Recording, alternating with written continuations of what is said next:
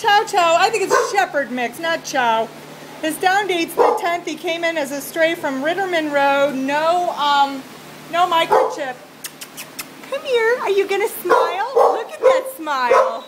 Oh, he's got a beautiful smile. Yes, he does. Poor little guy. He's got a, a nice fur coat on. A very sad face. Hi, sweetheart. Good boy? Poor thing ended up in the Brook City Pound. This is not a good place to be for any dog, let alone a big dog. Nobody comes out to this facility. This could not be a worse place for this dog. Poor thing. Please put him on your Facebook page and let everybody know he's here.